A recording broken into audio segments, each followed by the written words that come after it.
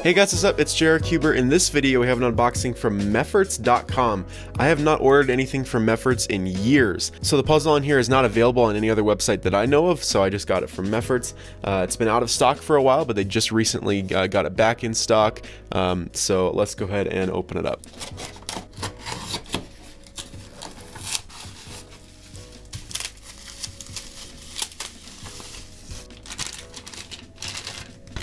All right, so here is the puzzle. This is a Pyraminx Duo. That is what it is called.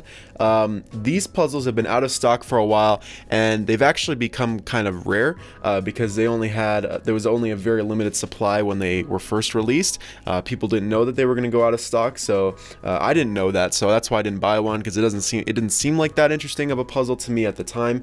Um, but they did they went out of stock, and now if you try and look for them on any other site, um, they were out of stock for a while. Like I said, they just got back in stock on Mefferts, and a lot of people didn't actually realize because I don't think a lot of people check Mefferts that often because I was uh, hearing some people talking about it in Puzzle Trader because people have been looking for this in Puzzle Trader for a while, and someone commented that they were back in stock at Mefferts. I went and checked. I saw that it was in stock, so I ordered it uh, just because I don't know how long they're going to be in stock for, and once they go out, you never know how long uh, it'll be till they get back till they get more stock. Mefferts is not really great at that at, at uh, keeping their items in stock. Usually whatever puzzle they release just has a pretty limited run.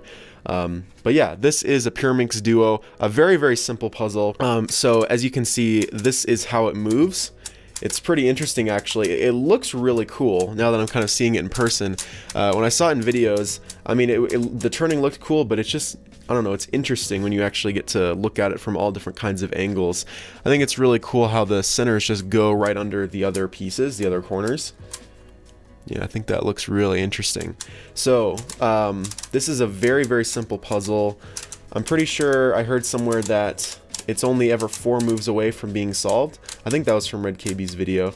Um, but yeah, because it's just it's just the corners and then the centers which can kind of be placed intuitively. Like that was just two moves away. So let me see if I can get this, let me scramble this a little bit more. So let's see, it would be uh, one, two, three. Oh no, that messed up the centers. Oops. There we go. So you can switch around the centers if you just kind of do like um, a right up, left up, right down, left down type move. So yeah, I mean, it's really easy. So yeah, the actual turning of the puzzle is really nice. Um, it's not smooth, as you can hear, it does have a clicking mechanism, uh, but it's not um, like stiff or anything. It actually moves really well. That click is just there to help click the turns into place. So as you can hear, there is, when you make a turn, there's one, two, three clicks which is pretty standard for a clicking mechanism type puzzle. Um, I'm pretty sure since it just has three ball bearings per piece, so you're to hear three clicks.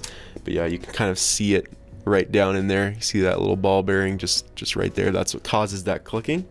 But yeah, the turning overall is very nice, and you can actually finger trick it, which is pretty cool. But yeah, like I said, I'm just really a fan of, of how cool this it, it looks when the the centers are just moving right behind these uh, these corners. Looks really cool. But yeah, if you guys uh, were ever interested in this puzzle and then saw that it was out of stock and couldn't find it anywhere, uh, just uh, letting you guys know that you can get it again. It's $20. Uh, it's pretty expensive for a puzzle like this, but you know, if you're into collecting, you're into kind of rare-ish, rare-ish type puzzles, maybe go ahead and give this one a look. But yeah, if you guys do want to check this out, make sure to grab one while supplies last. Uh, the link will be down in the description below as always. Anyways, that's about it for this unboxing of the Pyraminx Duo. If you guys like this video, make sure you give it a like. Links to all of my social media pages and my merch store will be linked down in the description below as always. Thanks for watching, guys. Bye.